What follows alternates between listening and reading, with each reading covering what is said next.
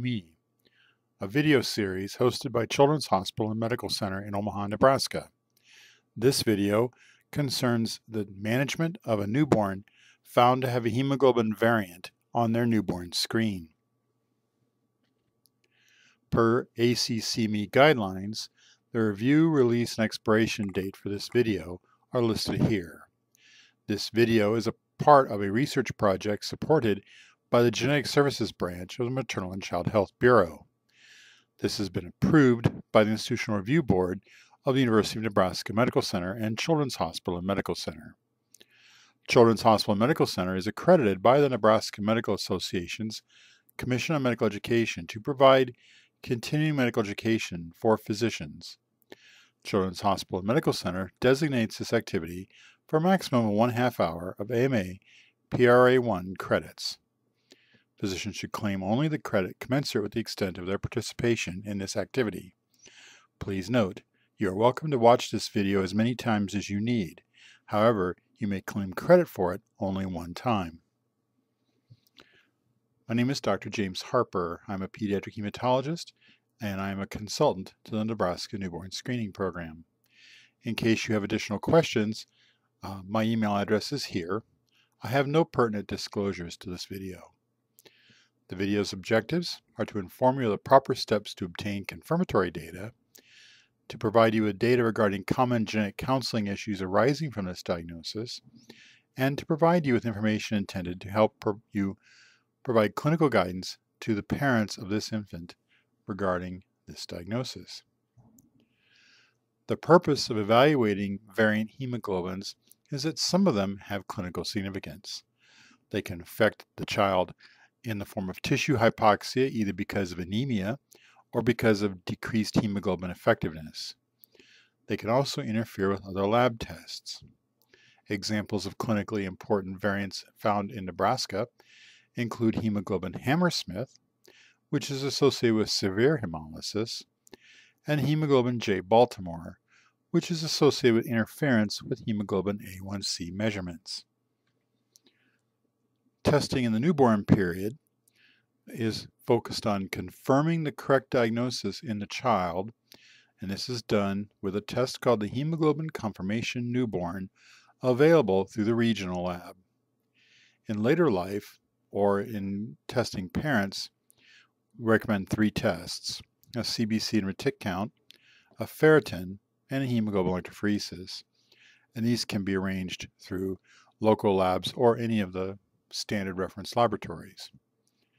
Interpreting the results in the newborn focuses on the pattern FAV, in which fetal hemoglobin is the majority, adult hemoglobin is next most common, and the variant hemoglobin is least. This is typically uh, associated with a diagnosis of a variant trait. FV would imply the fetal hemoglobin and variant hemoglobin only. In a term baby, this would refer to a homozygous variant or a condition in which a hemoglobin wasn't made at all, uh, or a laboratory error. A premature infant also has to be considered for a gamma chain variant. These uh, hemoglobin variants are inherited in an autosomal uh, manner. In this example, the mother has the abnormal hemoglobin, and she has a 50-50 chance each time she's pregnant of passing that gene on to her children. In this example, the first daughter uh, did not inherit, and the first son did. There is no gender association with this uh, condition. So where do I go for information on these? This is the website for the American College of Medical Genetics, or acmg.net. And this is an example of their uh, home resources and act sheets. The Newborn Screening Act Sheet may have come to you from the Newborn Screening Program already. If not, you can find these here. This is an example of the Newborn Screening Act Sheet for FAV or hemoglobin variant carrier. A listing of common differential diagnoses, a list of a description of the condition, and then steps that you need to take now are listed here. Additional information is also included. So actions needed to be taking now uh, include contacting the family to inform them of the screening result and to reassure them that these individuals usually do not have clinical problems. The baby needs to have a CBC done now and then repeat it again at six months.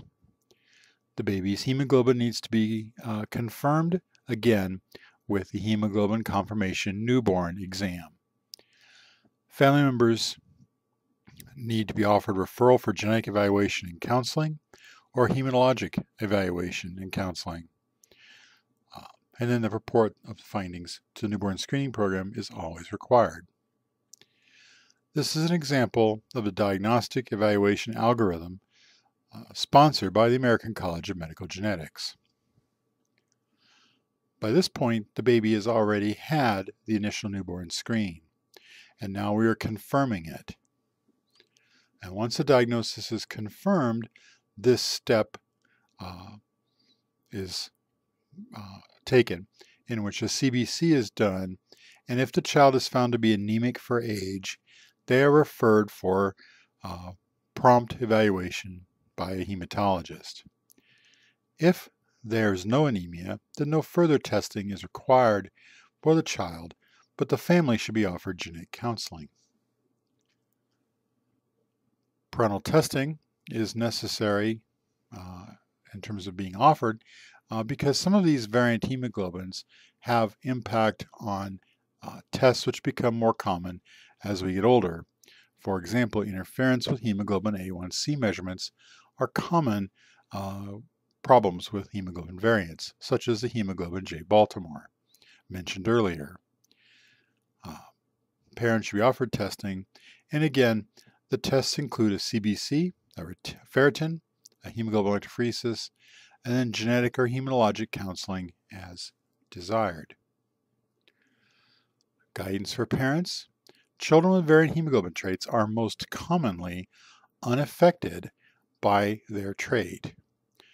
Clinically important variants are uncommon but warrant a referral to a pediatric hematologist.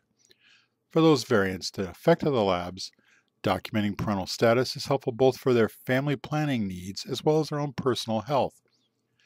And because it has impact in adulthood, it's important to tell the parents to write this down in their child's baby book and make sure it's clearly available in their records so that when the child's older and they want to have their own family, they know what their status is. Well baby and well child care schedules are normally unaffected by this finding. If you need references um, or referral sources, the Nebraska Newborn Screening Program is available at 402 471 0374 Hematology consultations are available, and you may contact me at 402 559 7257. Genetic counseling is also available, and you may arrange this at 402 559 6418. Thank you very much. Your feedback regarding this video is highly appreciated. To leave feedback, suggest new topics, learn about other CME activities here at Children's, and to register for CME credit for this presentation, please go to children'somaha.org slash medical education, all one word, and then follow the links to the appropriate uh, page. Thank you very much, and good day.